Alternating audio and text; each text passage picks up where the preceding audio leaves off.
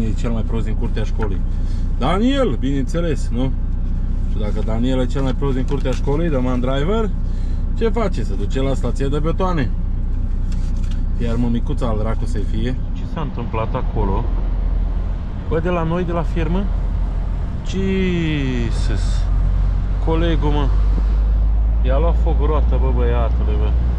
Polonezul ăla de la mine, de la firmă.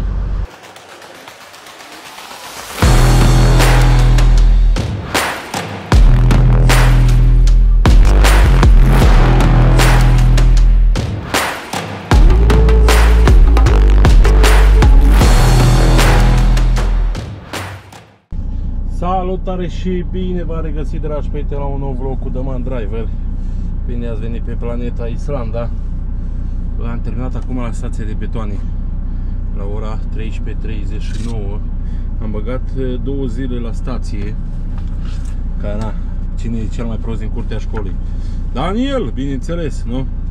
Și dacă Daniel e cel mai prost din curtea școlii, The Man Driver Ce face? Se duce la stația de betoane iar mămicuța al dracu să fie. Oi, oi, oi, oi, oi. Bineînțeles, n-au schimbat nimic, n-au reparat pe la cifa aia nimic, ce trebuia ei să repare, să facă, să dreagă. E, dar bineînțeles, dacă merge, de ce nu? Că prostul doar să chinui să facă mixtura la, la beton. Că nu mi iese, bă, tu am încercat pe toate părțile, nu mi iese, mi iese, ba moale, ba prea tare, ba prea moale, ba prea tare. Când e prea moale nu e bun, când e prea tare nu e bun. Nici nu mai știu cum, cum e de făcut. Uh mai tași mă, trebuie să fac o hârtie aici. Ieri cât am fost? În 29 29 04 30 04 Stay Stay Pan 11 00 17 30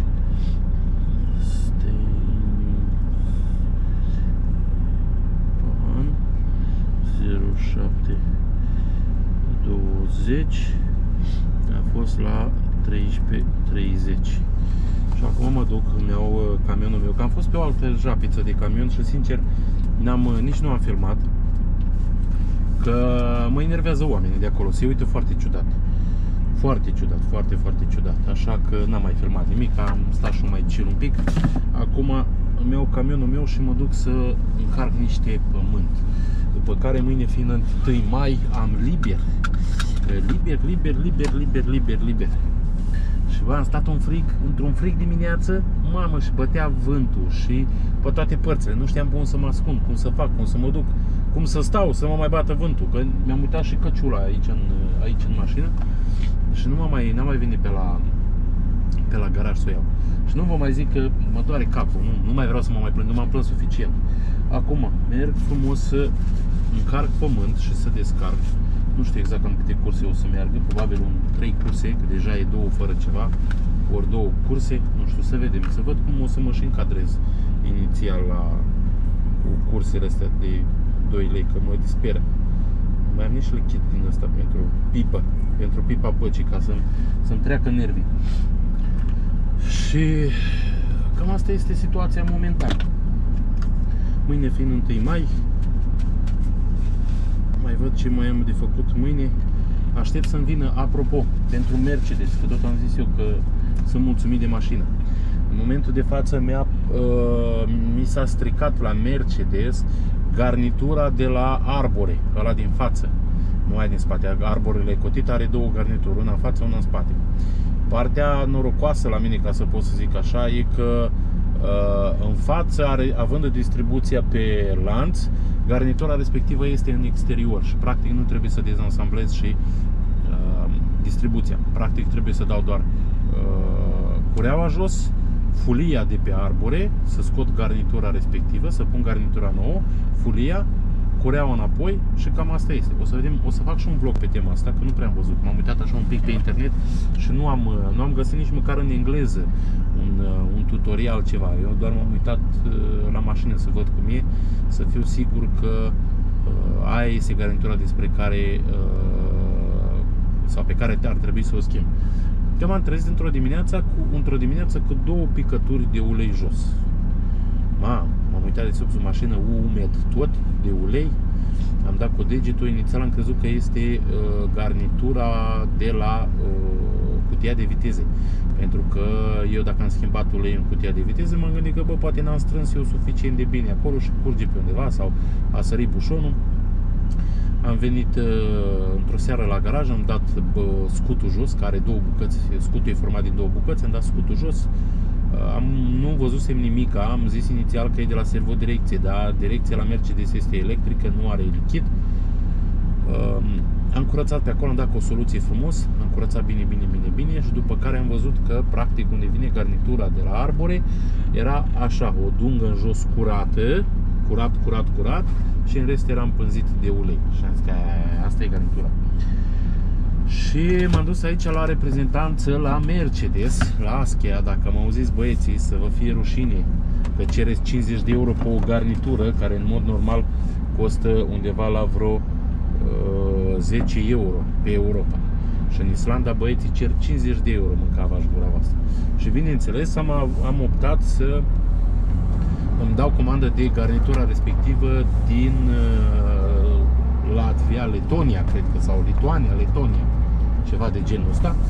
Și săptămâna asta, practic, ar trebui să-mi ajungă până la sfârșitul săptămânii. Și apoi nu mai bine o să mă duc frumos, uh, o să vin într-o, într-o zi, nu știu, probabil săptămâna care vine, că weekendul ăsta fiind și Paștele la noi, mi-am luat o căsuță de vacanță și bineînțeles o să mă duc fain frumos și elegant să îmi uh, să-mi schimb săptămâna care vine, o să-mi schimb și garnitura respectivă. Și cam asta e. Mergem uh, frumos la încărcat, vedem cam câtă treabă o să mai fie, ce camioane mai conduc pe acolo. Prea multe nu știu, așa că îi dau bătaie. Bă, nu știu ce s-a întâmplat acolo. Bă, de la noi, de la firmă? Jesus! Colegul, mă! I-a luat foc roata, bă, băiatule, bă polonezul ăla de la mine de la firmă. Bă, ești nebun? Aaaa. Ce ai făcut, bobiță? Ce ai făcut, mă? A deconectat și a lăsat remorca în jos. Nu se vede remorca. Da?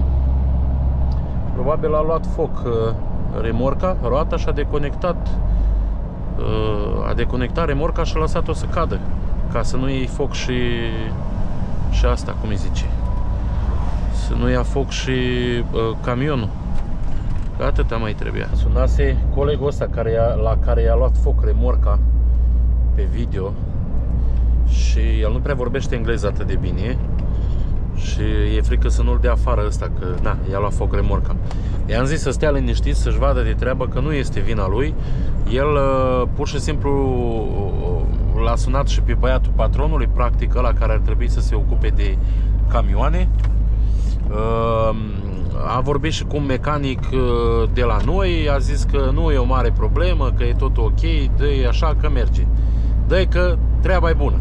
Acum să văd dacă mai este aici, că am, ajuns, am fost și am descărcat o cursă și să vedem dacă mai este aici, că au venit pompieri, au venit mașina de, a venit mașina de poliție și, și după cum zic, vă ziceam eu, și pe TikTok și am vorbit cumva și pe YouTube despre treaba asta, că nu este ok să deconectezi remorca atunci când este plină.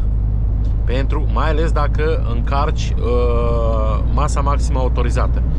Pentru că dacă încarci masa maximă autorizată, automat atunci o să fie uh, distribuită greutatea mai mult în față. Dacă încarci 40-50 de tone, uite că au venit și băieții de la mine de la firmă să scoată materialul din uh, benă. Ăsta este camionul și aici practic a luat foc remorca. Ce să stingi cu stingătorul tate, că n-ai ce să stingi acolo.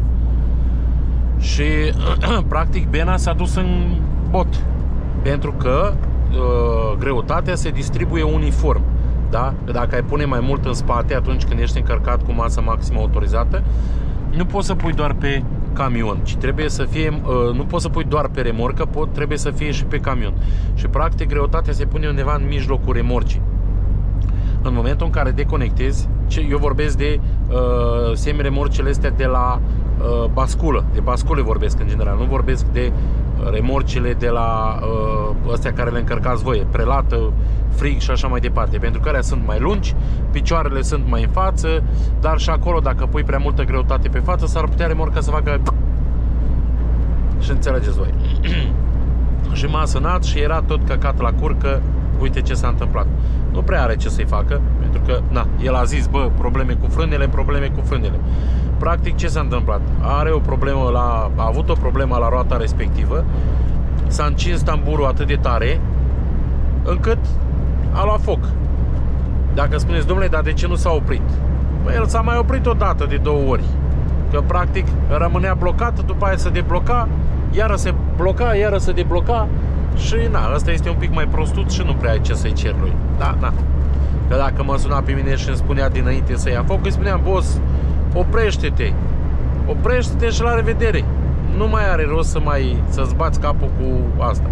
Te oprești și gata, s-a terminat, o să rezolve ei problema. Asta se întâmplă în momentul în care îi dai. Dacă știi că ai o problemă cu frânele, că asta discutam și la stație de betoane astăzi, că mie mi s-a prins la camionul ăla, uh, mi s-a prins în bord și practic uh, îmi spunea că e o problemă ceva cu frâna de, cu retarderul, cu frâna de motor, că practic așa zice camionul. Frâna de motor nu funcționează, practic ea rămânea cuplată, camionul nu prea trăgea, dar asta e ok cumva. Am luat contactul, l-am pus înapoi și practic am oprit motorul, l-am pornit din nou și și-a revenit. Dar deja eu am zis patronului, vezi că are o problemă cu uh, frâna de motor și o vedea el care și cum e treaba. Eu restul nici nu mai îmi bat capul prea mult cu aia, că oricum e un cazan de mașină, are 300.000 de kilometri, dar e vai mama lui de camion, deci vai mama lui.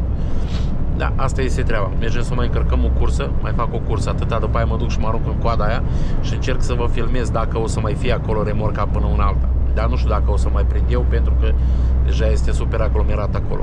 Și să apucă să o descarce și bănuiesc că trebuie să o și ia de acolo, să o ducă undeva vedea ori, ori pe la garaj, ori pe la stația de betoane. O să, ori să vadă ei.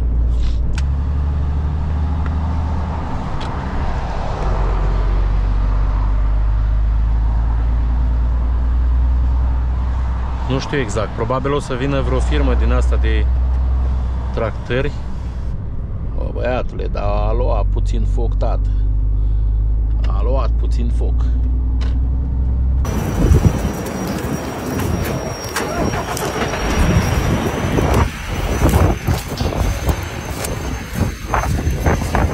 It's still too heavy.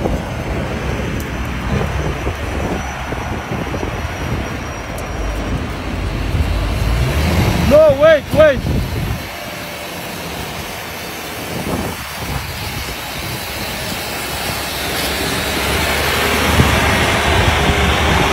Now we disconnected the wire, the compressor.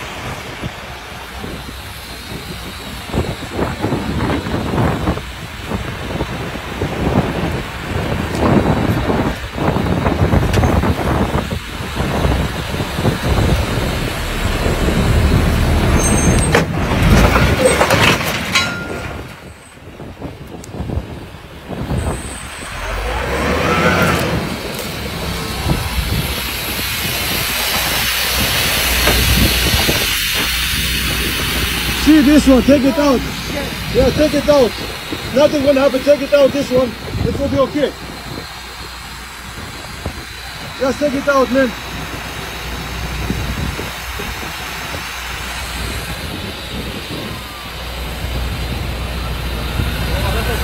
آه آه آه صحيح البريك مني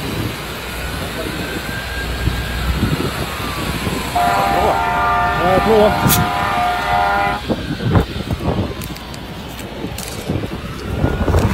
Yes. Hatta är däcket bara sprungit.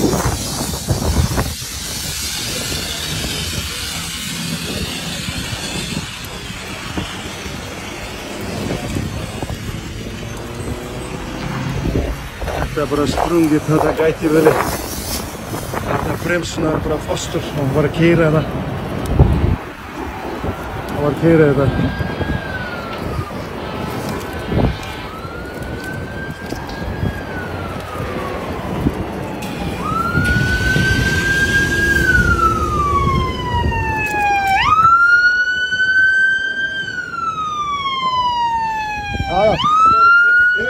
Pushes the brakes, he was stopping and he was driving it, you know, it's too heavy. Then he just burned it. He's supposed to see it, you know, before than that. Because it stops, you know, and just it.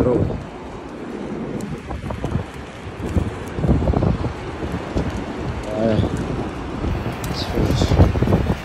So, I think you need to under all the tires, everything, all this. Need to change it. Yeah. edeceğiz.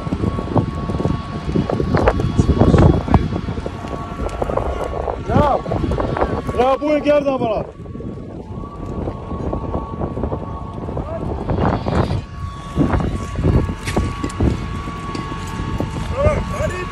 Ja, jag ska agera Mar.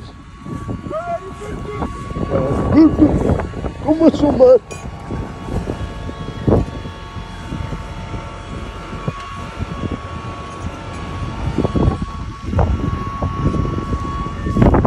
Þetta er gott fyrir myndband.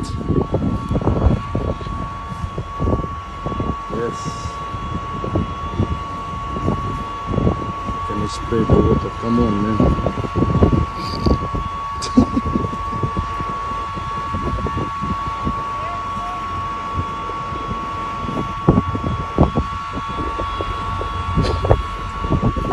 yes, I am the was the first one who reached here.